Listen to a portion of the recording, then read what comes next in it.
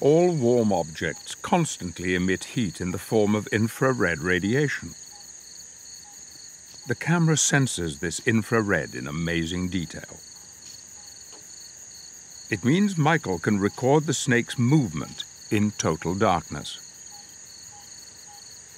This camera is really useful for us here tonight because it allows us to see basically what the snake is seeing. We are looking through a snake's eyes when we use this infrared sensitive camera.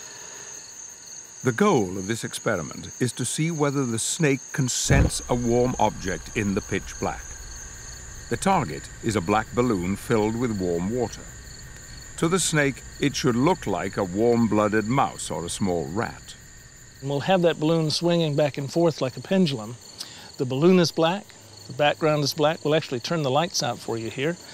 So there's no visual contrast. The idea is that there should be no way to see that balloon. The only difference between the balloon and the background should be thermal contrast. The balloon is warm, the background is relatively cool. Handling a large python in the day requires great care. It's even more difficult in the dark. Michael covers the snake with a box until he's ready to start the experiment.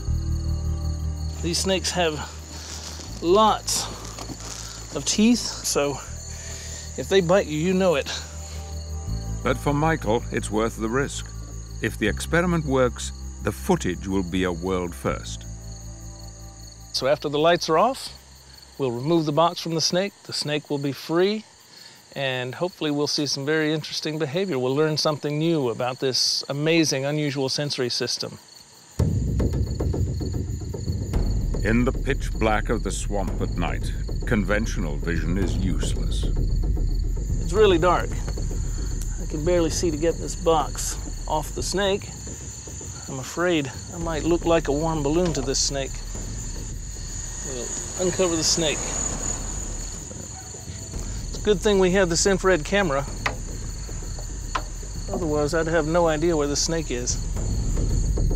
The sensitive infrared camera picks up the faint heat of the snake as a vivid orange and the warm balloon as a bright white.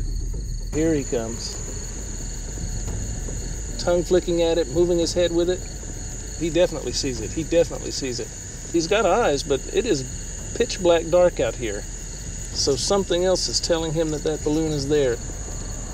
It is absolutely dark. It cannot be using its eyes, but it's following the motion of that balloon. It knows that balloon is there,